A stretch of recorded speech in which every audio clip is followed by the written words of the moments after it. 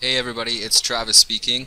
What I wanted to take a look at today was how we could use the profile template in uh, Revit so that we could make our life a little bit easier down the line when we're doing some detailing. So we're going to take a look at uh, a fascia profile that is going to consist of the finish fascia board as well as the rough fascia and then we can use that in tandem with some roof framing uh, down the line. So I'm going to open up a template here. So I'm going to click on New, and oh, not new, not new project. Sorry. So New. I want to wait for the flyout. Choose Family, and then I'm going to find Profile RFT. And when that opens up, we get uh, essentially our two origin planes for this. So what I need to do first is set up uh, a framework so that we can create some types in just a second here. So if I click on reference plane, I'm going to choose the pick lines option and I'm going to put in um, 1.5 inches and then just come over here to the left and click click on that. Um, now I'm going to make that a half an inch and do one more of those. Now we'll put in our horizontals here, so I'm going to put in another one, five and a half inches, and then we'll do a one at seven and a half.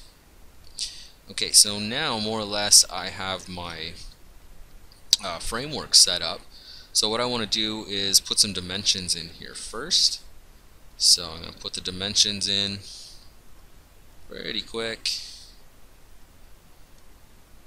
Okay, and just get those thickness dimensions in there as well. So there. Alright. So the first one here, this is going to be our uh, finish fascia thickness click OK. And then the second one this is going to be our rough fascia. This.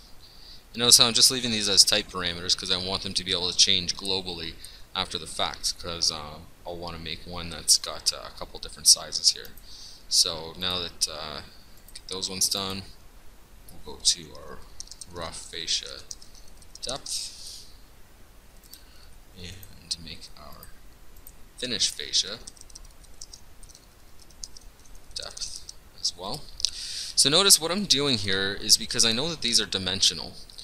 Um, when I select the dimension, I go up to label and add a parameter. And so when I say add parameter, it's automatically going to give me the option of whether it's type or instance because it might vary. Um, but the, the discipline is going to remain common and the type of parameter is going to automatically be a length. And then we can group this where we want, but I want it to appear under dimensions, so I'm just going to leave it where it is uh, for the time being.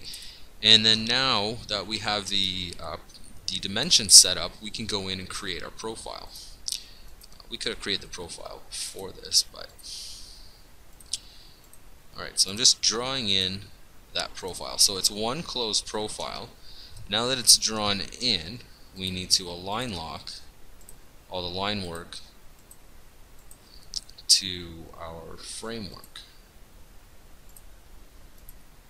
In this way we can drive the geometry with the parameters. So you'll notice that I'm selecting the reference first and then the line that I want to lock. So now that I've got those all uh, locked up, or I think I do. Maybe I can check it with my uh, reveal constraints. And there should be uh, uh, one of these lines, basically one of these burgundy lines, over top of all my reference planes.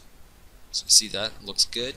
Now I can go up to the Family Types button here, and to create the first one, we'll say New Type, and this one's going to be called uh, Finish 1 by 8 with rough 2 by 6. And then we'll create another one. Call this finish 1 by 6 with rough 2 by 4.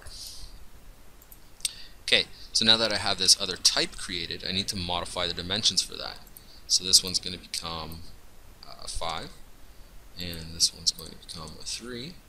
We'll say apply, and we should see the framework shift and the line work shift with it. So now that we have that done, we'll come up here and we'll save this to the desktop as built up fascia. Alright, so now that that's created, we'll say load in a project. We'll come back over here to this house we got going where we're working on the roof. And let's zero in on the roof here and go to our fascia tools. So I'm going to the architecture tab, the build panel, and clicking on roof tools, go to fascia. There's already one in here fortunately, so when I click on edit type, I can go to duplicate and call this built up fascia in this project. Now I'm going to choose my profile and look for the built up fascia ones that I have here. So I got that 1 by 8 I'll go to material and we'll just choose softwood lumber for the time being. We'll pretend that this has got no paint on it and it's just construction phase. So let's click on the edge of our roof and we see that that finished board is going to the inside. So let's just zoom back out and find our direction toggles and it flips it around.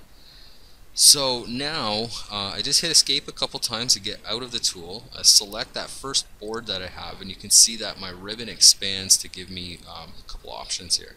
So I'm just going to hit add remove segments and then click on the next adjacent face, rotate around. Now I'm just clicking on all these edges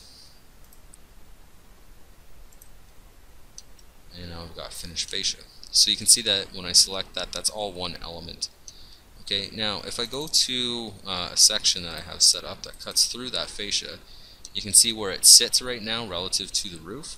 So if I want to drop that or push that out or bring that in, I can select the fascia and say, okay, vertical profile offset, let's drop that minus 0.875.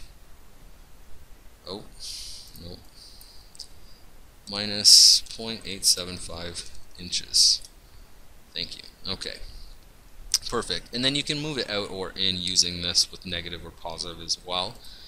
And uh, if we wanted to, we can adjust where this roof sits using that same sort of functionality. You can see that there's a level offset here. So uh, anytime you're trying to change roof heights or whatever, sometimes just the level offset is all you need. Uh, so we can take this roof too and we can change this to something else if we need to, something that's a little thinner and then we can put some rafter framing um, right inside of that. So you can see now we just got kind of a, cladding situation. So now if I go to uh, the extensions, uh, I'll be able to put in some rafters for this roof here. So uh, stay tuned for that. We'll do that in the next segment. We'll take a look at some of the extension tools. And uh, if you have any questions for this one here, just put them in the comment section below, and I'll get back to you as soon as possible. Thanks for watching. Bye now.